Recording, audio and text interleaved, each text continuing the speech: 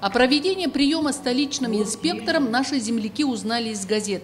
Правда, записаться на прием по заявленному номеру телефона смогли не все. Причины объясняют, почему не записывают. Правда боятся Зачем? они? Может Правда, быть, глаза вот, колят. вот На официально заявленный прием не смогли вначале попасть и телевизионщики. Для получения разрешения корреспондентам пришлось просить помощи у нуротановцев. Все задавались вопросом, неужели выполнение национального плана 100 конкретных шагов остается секретным? Это возмутило и оставшихся ждать на первом этаже заявителей. Почему ответ работники пошли на этот шаг, так и осталось загадкой.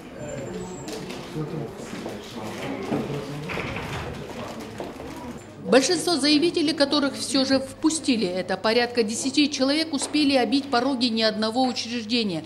Жительница Шимкента Диля Шукурова жалуется на действия правоохранительных органов. Многодетная мать требует сурового наказания для тех, кто виновен в смерти ее дочери. Девочку сбила машина.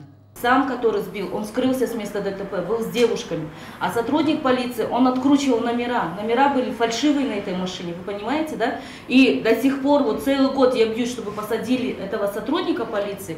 Тишина, я и в прокуратуру обращалась. Куда не обращалась, к вам поехала. Я вас услышал. Я возьму на контроль, чтобы было все в рамках законодательства и справедливо. Хорошо? Волнует шимкенцев выдача земельных наделов, игнорирование чиновниками гражданских прав. По словам заявителей, госинспектор Имандосов пообещал, что все жалобы будут взяты на контроль.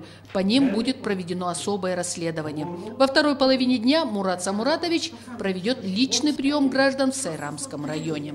Шинаро Разова, Нургали Кушаналиев, Роман Примкулов, информационная служба телекомпании «Отрар».